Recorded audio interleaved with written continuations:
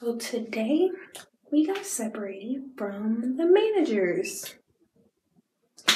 We get in a van, we go and we wait. And we just wait and wait, just wondering like what's gonna happen, what's gonna happen, what's gonna happen. Our performing, are we doing in front of? Are we going to the studio? Like we don't have our managers with us, like what are we gonna do?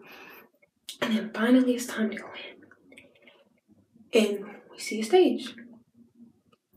We're performing. Okay, and then I look over, like I'm so busy looking around, looking around, looking around, and I look in front of me. It's a bow wow.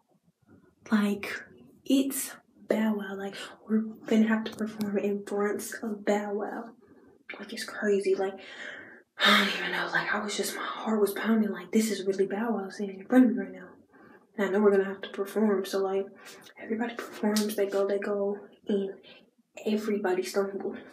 Everybody like and they were just like it's okay like this is rehearsals the big performance is tomorrow and all that stuff. So I was like all right. I go up there I was like I can't mess up I can't mess up and that guy stuck in my head like don't mess up and then I messed up. I stumbled I kept going but I messed up.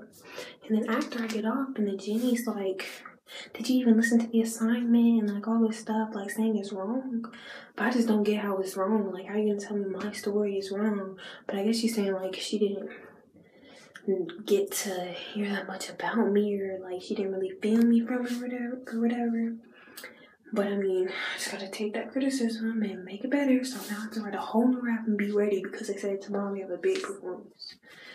But anyways, when we we're going with Val. He's the nicest guy. Like it's crazy. Like we were going one with him, and he like told me to spit something that I wouldn't trip up on whatever. So I was spitting. It's just like that was good. Like I thought I was gonna have to help you for a long time, but just send the next victim in because that was really good or whatever. I was like, oh. Okay, so I mean, today was kind of good and bad. Like, I got to meet Bow Wow and he had good things to say, but then Jenny has some bad things and all this stuff. So I just gotta get to writing and Hope I can remember it by tomorrow.